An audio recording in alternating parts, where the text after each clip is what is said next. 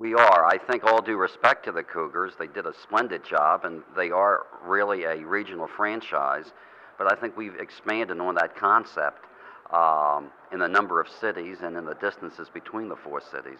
Do you think this is a coming thing? Do you think more teams are going to go regional? I do. I think that it offers an opportunity both to the um, area in which the team plays and to the team. Uh, it would be extremely difficult to base a major league franchise, um, let us say, in the state of Virginia in one specific city.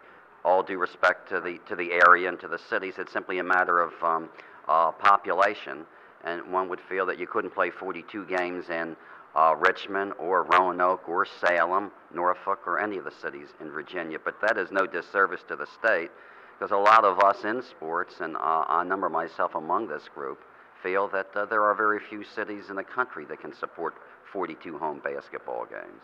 The uh, Chicago Bulls tried this a little bit last year by playing eight games in Kansas City. They have dropped that, but that's really not a home base for them, Kansas City.